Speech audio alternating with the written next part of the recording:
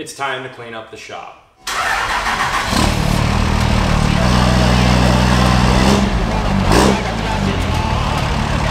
That will quite literally never get old. The sounds that this truck makes are absolutely mind-boggling. Uh, this is the time of your life, the moment to live, the moment to shine, the moment to rise and take over the world. I'm on top of everything, on top of my game. City life, big city dreams. Think large, go hard, shine light for the ones in the dark. Stay true to yourself and go big from the heart.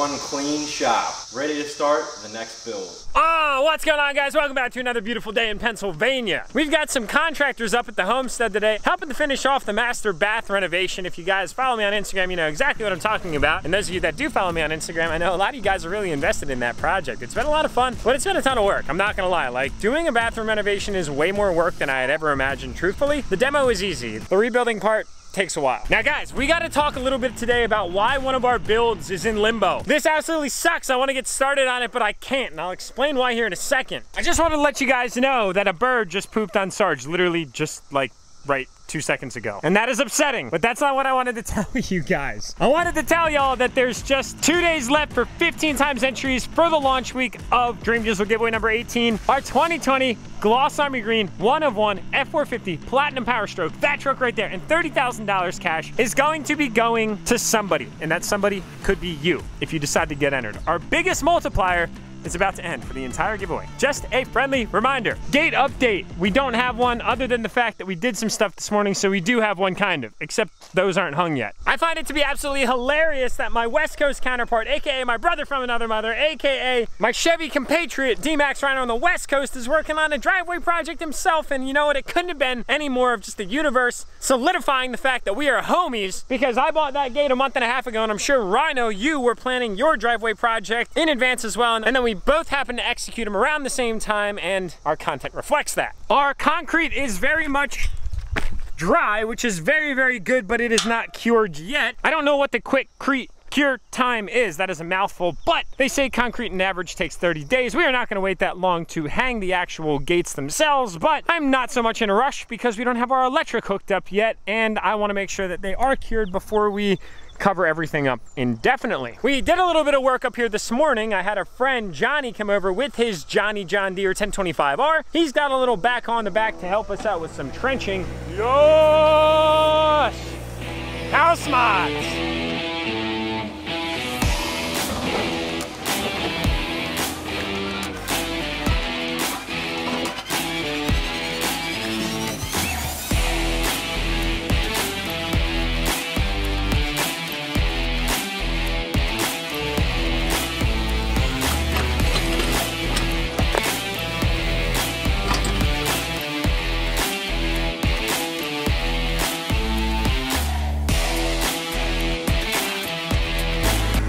Quite the actuator.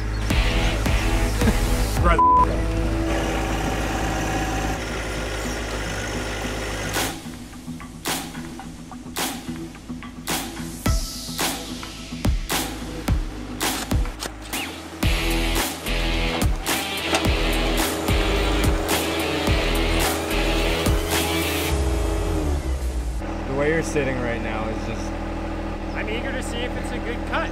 I don't think it is.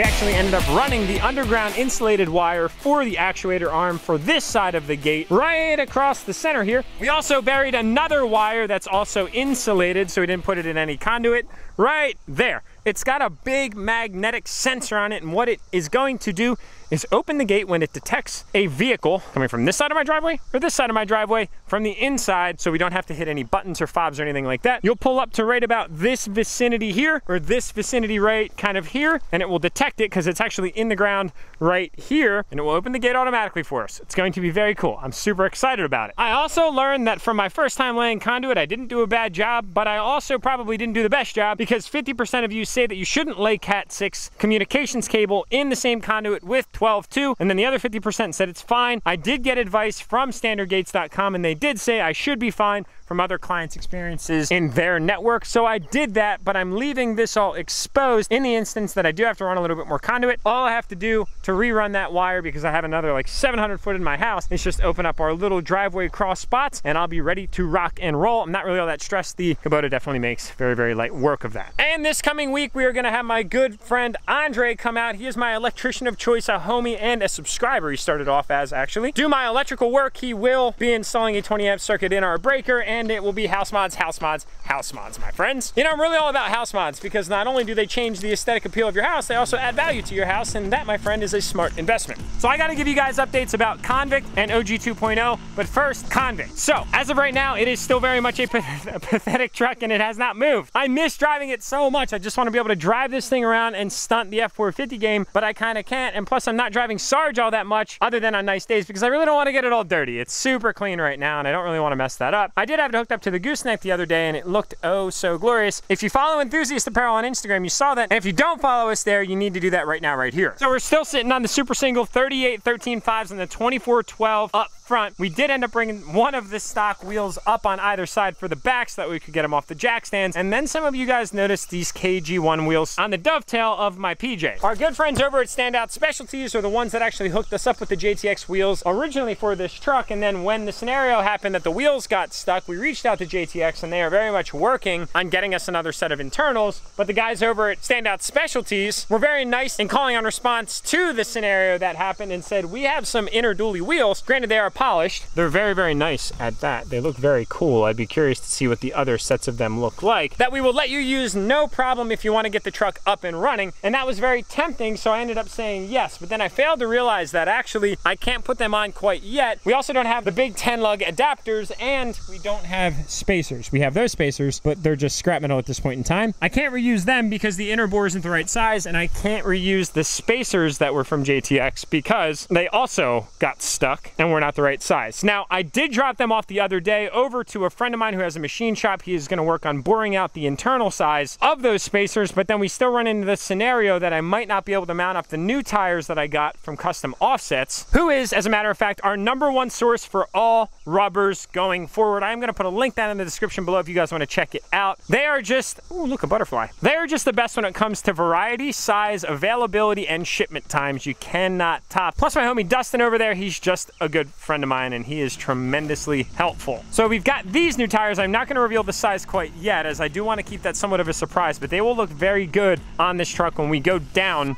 from the 38 13 5. That's as much as I'll give you right now. Unfortunately, the 38s on a four inch lift kit are, are just not, they just don't work at all. So that kind of brings us to the convict situation. Not much progress there. Hoping to get this truck back on the road any day now so we can continue the build because I really miss daily driving this truck. And that brings us to my current daily driver on all days, all occasions. My parts hauler, my general hauler in general is the OG 2.0 build. It's been awesome because I've been all the feels and all the familiarity of OG 1.0 or the OG, o, OG Duramax? Yeah, you guys follow my drift. It's kind of killing me because I wanted to start this build a long time ago. We've already got wheels for this thing. We've already got a lift kit for this thing. We got to get parts to powder coat. We got to get parts to paint. We got to do the things that I've checked all the boxes on and started ordering parts for in my mind. It's just that if we put this thing under the knife, then I don't have a daily truck right now. And that is very much a problem. I know you guys are so excited about the OG 2.0 build and you've all been asking about it. I see your messages daily about when it's going to begin. So I had to make a vlog specific to answering your questions because I too am also also anxiously awaiting its start. Although daily driving this thing has been blissful because not only does it feel really good, the nostalgia just brings back the memories. The Fleece Cheetah 63 Turbo, along with the 10 millimeter Exergy injection pump in this thing, make it so fun to drive and the turbo responsiveness is just out of this world.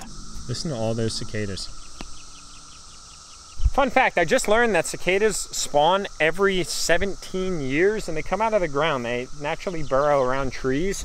Being that there were trees everywhere around here, there were obviously cicadas for 17 years in the ground before I decided to take all the trees out. And these holes right there, them, them, there, there, there, there. See all those holes everywhere? Yeah, those are all cicada exit burial holes.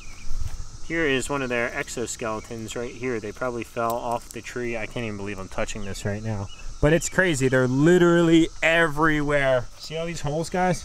Those were all bugs that came out of the ground around the same time, and now they're in the trees. Singing the song of their bug, trying to find a mate.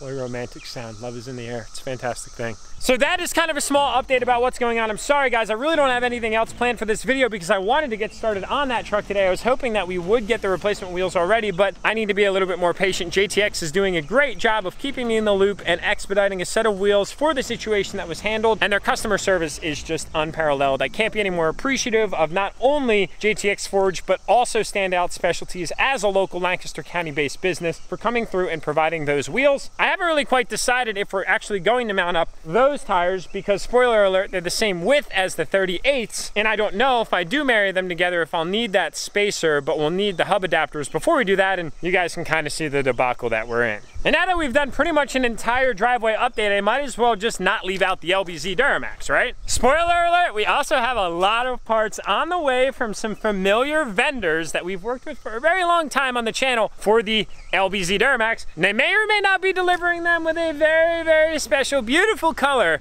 on said parts, which we are pretty excited about. And we're gonna be getting started on that thing honestly very soon. Now, guys, we might also be bringing another truck onto the channel soon. You guys know that right now COVID has made truck procurement especially challenging, but I'm looking for a very specific, let's just say GMC or Chevy. I'm open for either. It just depends on which one we can find at the time. Drop your comments below. Would you rather see me get a GMC or would you rather see me get a Chevy? I'm not gonna reveal what year we're looking at, but hopefully we can find one very soon because I've got some ideas in my mind, to say the least. It seems like lately rain's been on the forecast for the end of each one of our vlogs, but I guess that's okay because my grass and my trees very much enjoy it. Hashtag the simple things in life, or maybe dad enjoyments. I have no idea. But anyway, guys, that's where we're gonna wrap up this video. Grab your 15 times entries before they end for Dream Diesel giveaway number 18, AKA Sarge, AKA that one of one, Gloss Armor Green, F450, and $30,000 cash. I'll see you all in the next upload.